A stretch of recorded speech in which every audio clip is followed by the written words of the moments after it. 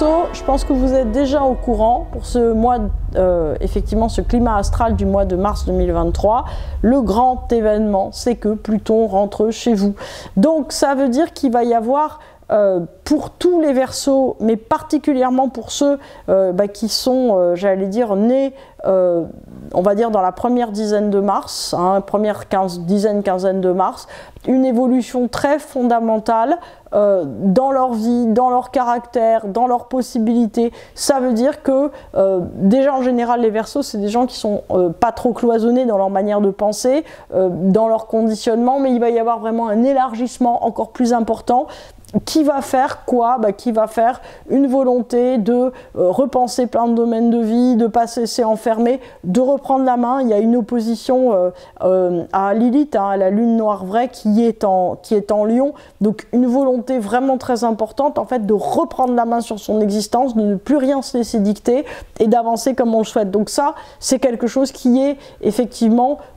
extraordinairement puissant, avec le départ de l'autre côté de Saturne et Mercure, donc qui sont en train de quitter le signe du Verseau, on se retrouve, si vous voulez, avec euh, le fait que la stabilité n'est plus à trouver, j'allais dire, en rangeant les éléments, mais plutôt en explosant le cadre. Vous voyez, c'est toute la différence entre, euh, j'allais dire, ranger, par exemple, des courses dans un placard, ce que quand même à essayer de faire, bon, on peut dire ça comme ça, Saturne en verso, avec Pluton qui dit Moi, j'ai pas besoin de placard, je change de maison, et de toute façon, j'ai plus de courses, j'ai un potager. En fait, qui fait complètement à sa manière et complètement autrement. Donc il y a une explosion des cadres euh, qui, alors au début Pluton arrive, hein, donc Pluton euh, qui arrive dans un signe euh, va avoir un effet forcément de machine à laver, c'est-à-dire à repenser tous les domaines de l'existence, essayer de les remettre en phase, essayer de réfléchir les choses, etc.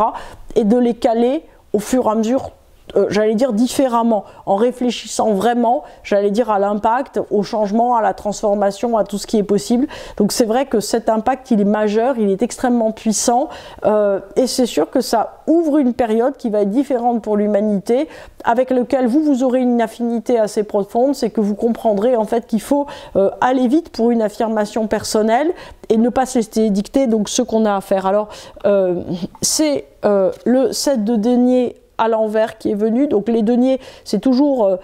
l'abord matériel des choses, euh, c'est-à-dire la structuration globale. Donc le, 7, si vous voulez, euh, est la logique de quand même on passe à un, autre, j'allais dire à un autre niveau, le 6 étant le chiffre de la stabilité, le 7 indique qu'il y a une dimension spirituelle qui rentre en jeu en plus, on va dire, dans la, dans la stabilité. Donc c'est vrai qu'il y a une envie euh, de rien perdre, d'édifier au-dessus, mais il y aura de toute façon une, envie d'une certaine façon de euh, repenser les choses. On est tout au début